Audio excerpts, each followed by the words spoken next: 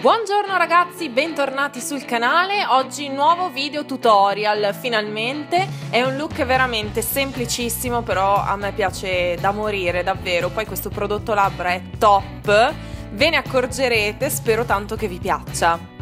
Comincio applicando una base cremosa sulla palpebra mobile e mi concentro bene eh, sulla parte vicina alle ciglia, che è quella che mi interessa di più.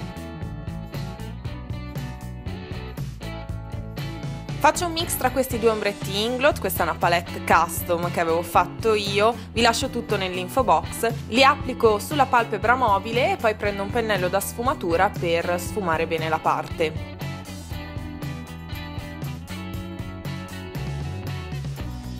Con un pennello da sfumatura più ampio e un marrone un po' più chiaro, opaco, vado a sfumare bene i bordi.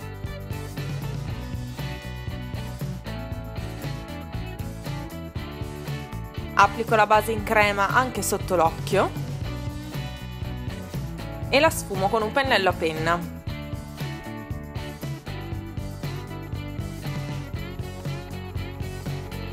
Applico la matita nera all'interno dell'occhio e poi con lo stesso mix dei due marroni vado anche sotto.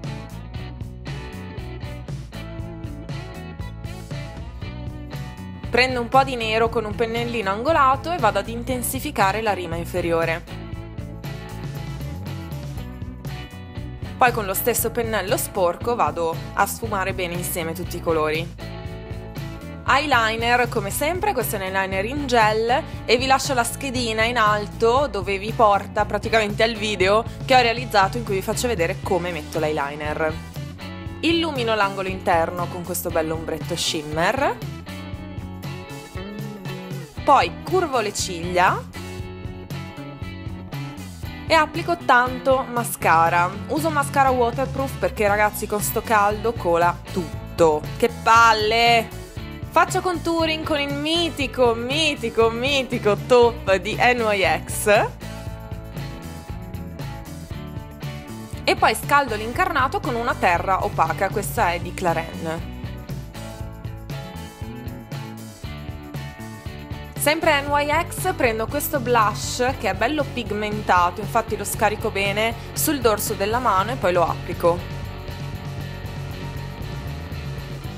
Se avete esagerato come me, basta prendere la Beauty Blender umida con cui io ho applicato il fondotinta e vado bene a sfumare, come vedete abbiamo aggiustato tutto. Come illuminante uso questo qui di Mulak che è in crema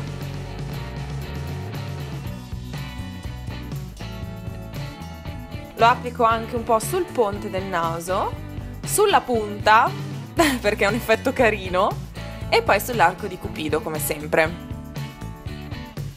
Ed ecco il prodotto allucinante che vi dicevo, tra l'altro ne ho parlato anche su WeGirls e vi lascio il link sempre nell'info box. È uno dei gloss infallible, ha un colore pazzesco, io lo amo ed ha effetto opaco. Non è una tinta, rimane un gloss ma ad effetto opaco. Prendo un pennellino e ridefinisco i bordi. Questo è il look completo, io spero tantissimo che vi piaccia, vi mando un bacio e ci vediamo al prossimo video.